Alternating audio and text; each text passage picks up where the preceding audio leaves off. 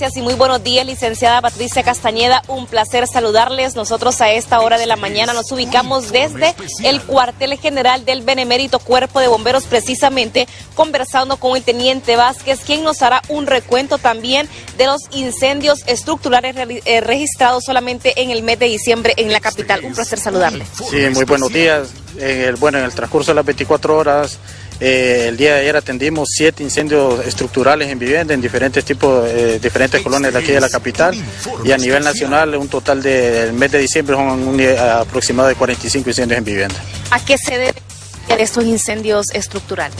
Eh, puede, se, puede, se, puede, dar por varias cosas, eh, cortocircuitos, ahorita estamos en la, la, época navideña que se quema bastante pólvora, por afecta también el de la zacatera que está, la maleza está alta.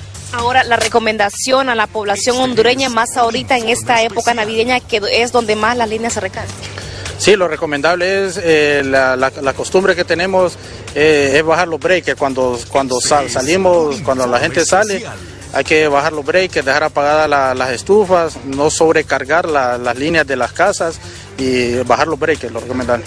También en la mayoría de estos incendios estructurales es porque el cableado no es el adecuado. Claro, sí, eh, lo recomendable cada año es, es eh, cambiar todos los cables de, la, de las viviendas para tener una, unas mejores conexiones en la vivienda.